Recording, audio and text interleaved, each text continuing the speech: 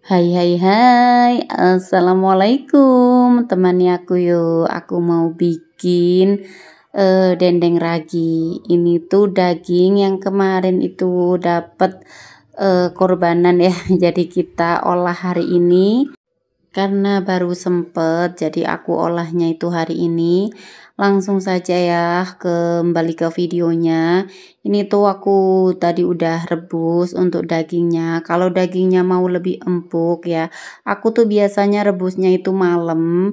Terus aku biarin gitu uh, di dalam airnya di dalam kuahnya gitu. Jadi kalau pagi itu dagingnya itu udah empuk banget ya untuk perebusannya itu aku cuma rebus 20 menit aja udah empuk banget.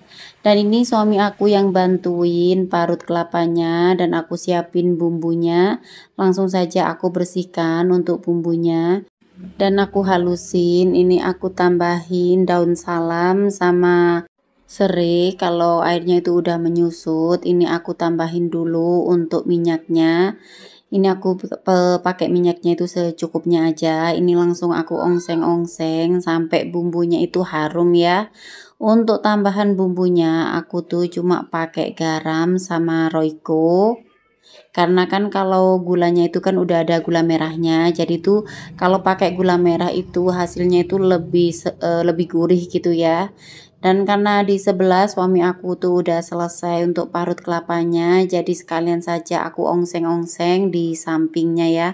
Jadi ini aku sangre sampai kelapanya itu e, kering. Jadi kalau lebih bagus itu kalau kita ongseng-ongsengnya itu kita keringin itu sampai warnanya itu coklat ya. Tapi kadang aku tuh juga agak kayak kelamaan gitu. Jadi kadang cuma agak coklat itu udah aku matikan.